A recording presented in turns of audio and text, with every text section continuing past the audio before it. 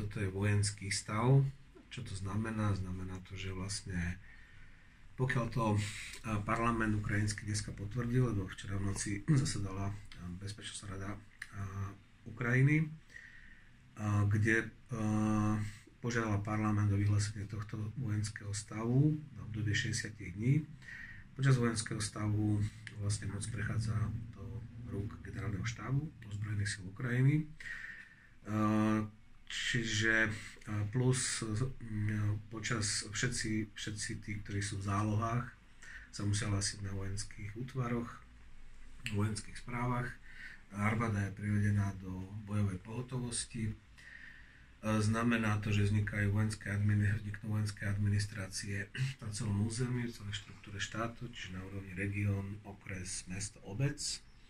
Sú zakázané demonstrácie, verejné protesty, zhromaždenia. No a samozrejme takisto počas vojenského stavu je možné siahnuť, štát môže siahnuť na súkromný majetok, mm-hmm. pokiaľ si to vyhodnotí tak, že tento majetok je, dôle, je potrebný v verejnom záujme, to znamená na obranu krajiny.